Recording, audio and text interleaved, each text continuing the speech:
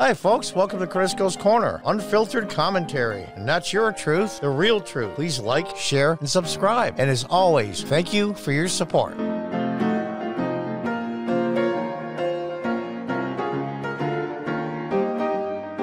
Welcome back. Little change of pace here for Cordisco's Corner. An interview with author Sarah A. Chrisman. She's the author of The Tales of Chetzemoka. It's a fictional series seven parts that takes place in the Pacific Northwest in the late 1800s, the Victorian era. It's a great, great, fascinating reading. She's a very good author, and we had a great conversation. I hope you enjoy it. This is part three of three. I'll leave a link in the description to Sarah's Amazon page for her books, as well as a link to her YouTube channel. And I hope everyone reads Sarah's books and subscribes to her channel. Yeah, I um, I think I know this is all the the leftists will go crazy when I say this, but I think back then men, men and women they knew their roles in society, and some of them overlap to be sure. Um, mm-hmm. But there's nothing wrong with it. It's just a dynamic that they knew that okay, uh, I own a business or I work somewhere, and the wife takes care of the house and the kids, and, and it's not a, it's not a bad thing. It's just everybody knew what their job was. Right, and everybody knew what their strengths were. Yeah, and there's a wonderful etiquette guide from the 1890s where the etiquette between husbands and wives actually tells them to consult and advise together right. because they tell it specifically says to the husbands that your wife is your best advisor. And because there is this different perspective there is this perspective of both the masculine and the feminine and we need both of them. Yeah and it's uh, it's it's really wonderful and it's something that i think we need to get back to. And i tell you the truth honestly the way things are going now i think we will get back to it. i think it will get I so, hope so. I think it will get so bad. When i say bad i mean socially that things are so intertwined.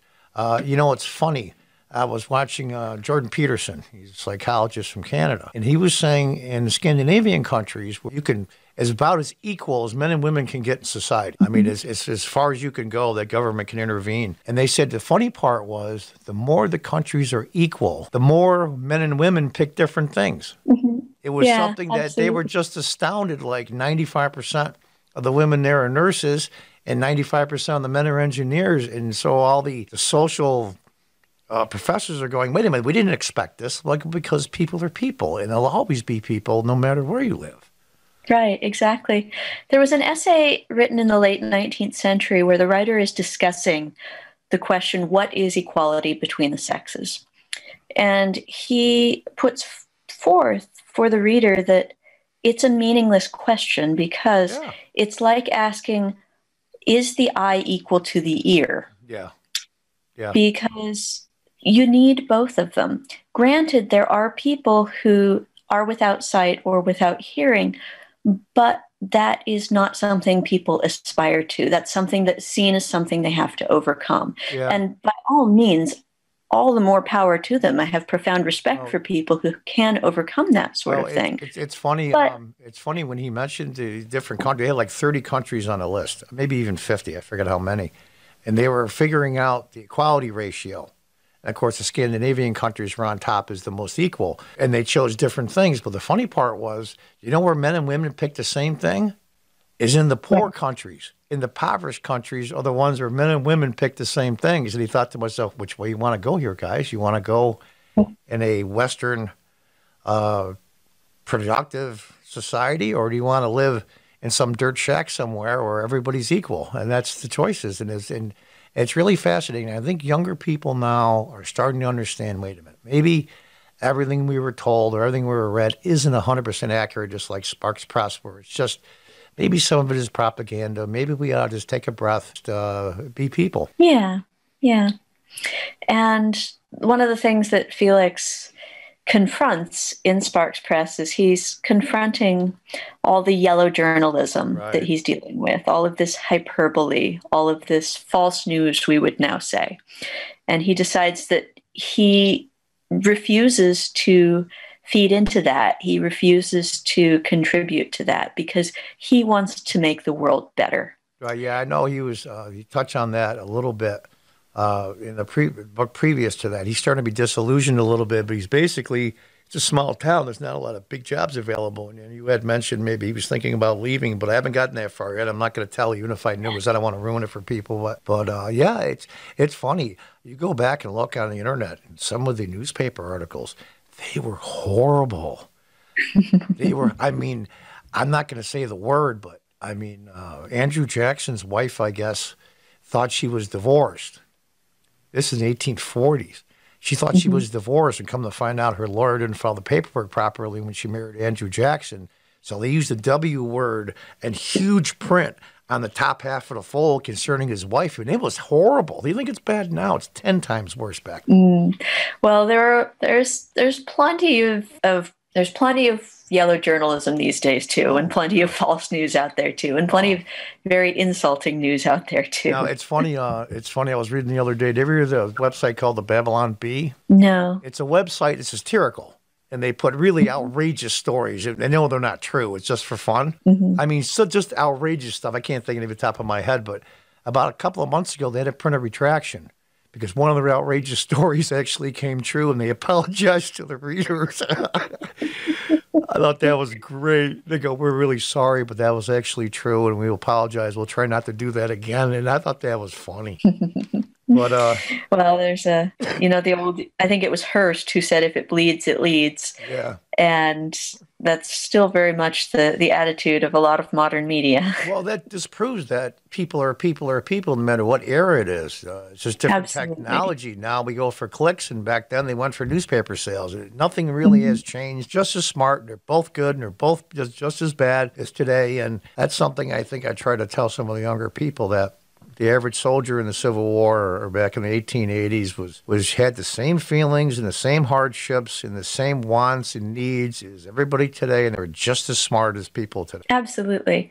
And the fight for truth and honesty and what's right still goes on. Yeah. And yeah. we'll always be fighting it, but it's a good fight. Yeah. But uh, yeah, I'm uh, I'm delighted. I'm going to probably gonna get most of Three Women a Wheel, which is number six in the series for those listening. Uh, I'm going to find out what happens because I, I'm really eager to see what happens to the three ladies on their trip because they're in the barn. Oh. They're in the barn. They're in the barn right now, and the one lady spent too much money for the baby owl that the kids were torturing. So um, that's about where I'm at right now. So, well, the the story of the family they stayed with, the again, that was a real family. Okay. Out on Mount Rainier. So in Three Women a Wheel, three of our characters from Chetzemoka are taking a trip through the mountains to Longmire's Mineral Springs. Right.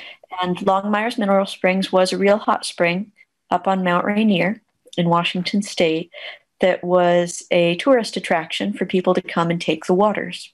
And on the way there, they our characters, our friends, stop at the farmhouse of this man who everyone calls Indian Henry. And he was a real man too. Okay. And the, the story about him is kind of interesting. The rec the records no one quite agrees on exactly which tribe he was from. There are different accounts, but what is agreed is that his own tribe kicked him out for killing a medicine man. Ah. Uh, because the medicine man had failed to heal his father.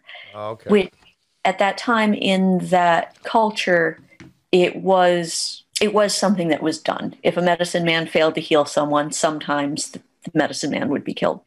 But at the same time, it was kind of becoming frowned upon. So his own tribe kicked him out. And he moved up to the mountain and started a homestead. And then these other Indian women came along, and he wound up with three wives and oh, yeah, they were all real, real people. Yeah, the ladies and, were outraged that he had three wives. I remember that. They were absolutely outraged. I remember. well, Lizzie is. Addie is sort of understanding because Addie has lived in the town of Chetzemoka all her life, and her family is acquainted with Chief Chetzemoka, who again was a real historical man, and he did have two wives, Sihimitsum and Chialil.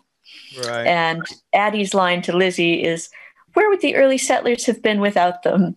Yeah. And Lizzie is a very prim school marm, and so she's she's just uncomfortable with the idea of staying with a man who's got three wives. But so this is uh, Spark. I want to go back to Sparks Press again. This is pretty much the journey that he takes as far as his journalistic career goes, and uh, uh-huh. what, he, what, he, does with it. And uh, I haven't read it yet, so I know I have I know absolutely zero about it except for the row in the back of the uh, cover. But uh, Felix, he's pretty much fed up. And, yeah. And this is his way absolutely. of trying to, trying to keep his honor at the same time, and it's not easy. Right, absolutely. Because he sees himself turning in truthful pieces, and then by the time his editor gets done with them, he doesn't really recognize them anymore, and they're no longer the truth he had written. Yeah, what was that one headline? The guy said in one of the videos I saw on YouTube. It says uh, the CDC has, has discovered a cure for cancer. Three hundred thousand cancer doctors out of work. You know, that's what you're going to get. Yeah, yeah. Well, part of it comes with it comes from just seeing seeing how things get twisted about very very simple things about myself. I've I've spoken with very nice journalists like yourself and some other sterling great journalists. I've spoken with other ones who by the time the story came to press I wondered where on earth they got their ideas from. yeah, no, I, because I know I saw the one video you had. I think it was the Seattle Times where you were confronted by women nose to nose, and it was most of the baby boomer women. And and looking at myself, you know, wait a minute, isn't this supposed to be the the generation that believed in everybody can do their own thing and everybody's free, and then but you, but you only can do what I think is right. Right. And that's right. the part that, that I thought is just the most hypocritical thing, and I talk about that quite a bit in my uh, YouTube channel. But I'm really heavy-handed though. I, I don't I don't smooth anything over. So uh, in fact, my introduction it says if you're looking for unfiltered commentary, I like how I put that, and I really because I just good for you. I just um you know let people live their lives and don't tell me what to do, and uh, it's just amazing to me. That's why I admire you guys. Because you probably Aww. get you've gotten so much grief. I've seen in a couple of interviews, you could tell the look on your face when you're talking about some of the incidents is like, you know, this really is terrible. I'm thinking, why would they bother those people? They're really cool. I mean, leave them alone. I, you know, I'd hang around with them all the time if I lived in the area. But you know, hey. Aw, you're very sweet. Yeah, you're very sweet. Uh, well, I. But I'll, yeah, coming coming back to to Sparks Press, right? A lot of that comes just from my own experiences with the media and seeing how stories get twisted and how things get hyperbolized.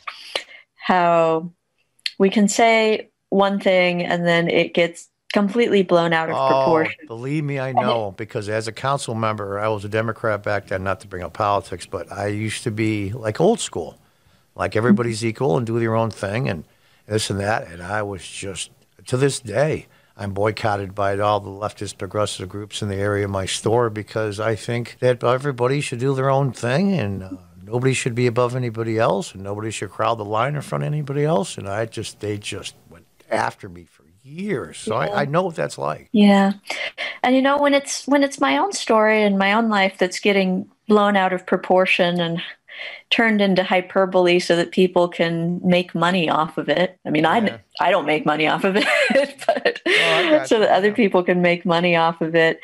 It's it's annoying, but I get to the point where I can laugh at it when I know that something very similar is happening to big world news that really affects people's lives in a huge way that gets really scary. I, I, think the part, the trouble is though, and I don't mean this in a bad way. I'm not trying to imply that people are dumb or stupid. There's a lot of low information people out there that just don't know what's true. Right. It doesn't make them dumb or stupid. It just they're, they're fed 30 second sound bites, and that's all they really check into. They never read more than two pages in a row in a day, and that's really sad because some people are making important decisions and they should look at what's really happening, not what they want you to think is happening. Absolutely, absolutely. And a lot of news is sold to the lowest common denominator. Yeah. And written for the lowest common denominator. And it was back in the 19th century, too. And that's what Felix is working hard to fight in Sparks Press. Yeah, I can't wait to I can't wait to read it because I like Felix. He's a cool guy. Aw, thanks. I'm yeah, glad, he's, he's glad you like. I like I like all the characters actually, but uh, but uh, like I said, uh, Kitty's my personal favorite. I like Addie, maybe second. a lot of Kitty comes from a book written by a woman called Amélie Rives, who is, she was quite famous in her day, but she's been largely forgotten. And she wrote a book called The Quick or the Dead, that was a book about a young widow and right. her conflicts in falling in love again, but being very worried about that because she's yeah. feeling very conflicted because she did promise till death do us part. Right. And so a lot of Kitty's character comes out of ideas I got from this older novel. Right, right. And that's been that's been interesting to explore. And then when I continued the series, I realized that someone in Kitty's position who was someone who'd been widowed that young would want children. And so then that dictated the story arc right. of her and Doc. Now I know in, I know how you you talk about subjects that are you know, not taboo, but but you handle them so subtly and so beautifully. In other words, she was just starting to understand her sexuality when her husband died. Uh, that's a great way to put it. It's not vulgar, it's not bad, it's just really nice, and it's and it makes the point without being derogatory. Yeah, well, thank you. I try to be respectful of my characters because after a while they they do feel alive to me. They do feel like right. friends to me, and so I want to respect them just like I would respect any other friends. Well, I encourage everybody. Uh, I'm going to put this out on YouTube, and there's a couple of podcasts. Um, uh, Spreaker, and a couple I'm going to put them on. I encourage everyone, and I'll leave links in the description on YouTube for the links for your books, and I, I encourage everybody to read them. And it's it's it's, not, it's a story about people, but it's also a story about the era and how people handled things, how people handled change, how people handled tragedy, how people you know uh, love interactions, and it, it's it's fascinating stuff. And it's oddly enough, it's Victorian times but it's very timely topics at the same time. Aw, well, thank you. Which I thought was I'm really interesting. Like, enjoyed it so yeah. much. And uh, oh, boys, it's been really great talking to you. How's Gabriel? Oh, he's well. He's well. He's uh, he's been enjoying uh, work. He is working at a library. Right. He's a librarian, and excuse me. Today's his day off. He is helping out at a local bike shop because oh, okay. there's been a lot of a lot of challenges for people these days. Yeah, and so bet. he's I'll bet. helping out the owner of that shop to to make things go through because oh. he's got a lot of experience with oh, bicycles. There you are. I see you on the video now. I've been looking, yeah. staring at the microphone, and I see you now. So, but uh, God, it, it's it, I'm I'm really really glad we talked, and I got a lot out of it, and uh, I'm a big admirer. I'm a huge fan of yours not so much the nonfiction, but the fiction books, the series, The Tales of Chetzemoka. I've read a couple of them twice. I got to tell the truth here. But uh, did you think of anything else, maybe concerning the books you'd like to touch on that we haven't talked about? Well, something that I always like to put in a plug for anytime I'm, I'm allowed to sure. is that I think it's really important for everyone to read as much as they can, to read yeah. as many books as they can. I mean, actual physical books, not online Kindle. Absolutely. And it's interesting because there have been a lot of studies done that the human brain actually interacts differently with physical books than with things on a screen. Yeah, you mentioned that in one of your videos uh, about reading Hill. Yeah, it's actually a different part of the brain that's at work. And there have been scientific studies done into this, which is just really fascinating. Uh, it's uh, I, am concerned in about physical space. Yeah, younger people I'm concerned with because now they're doing it on tablets and on Kindles, and they don't have any physical books. Right now, a physical book has a front, a back, a top, and a bottom. Yeah, it's a three-dimensional thing, and as we read it, our brains are actually mapping out the place in the book where we found the most important information. Just like when you're walking through your town, you're mapping out right. unconsciously you're mapping out the important landmarks. Like you see a map online you see a physical map. Brain mm-hmm. reacts much yeah, differently. it's, it's different.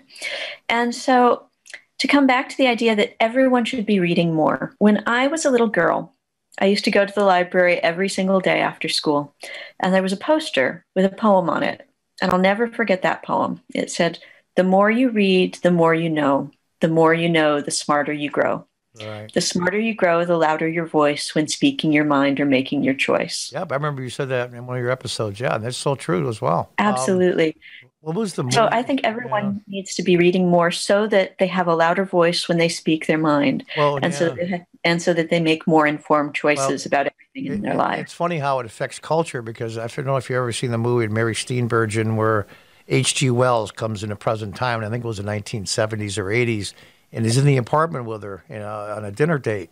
And he looks around. He says, "Where are your books?" he's supposed to be H.G. Wells from you know uh, mm-hmm. the previous century. She goes, "Well, I don't have that many." He goes, "Wow!" that's the first thing you notice. Where are your books? well, so many literacy campaigns these days are just focused on children and getting in basic literacy. But I think it's terribly important for adults to be reading as much as they can as well.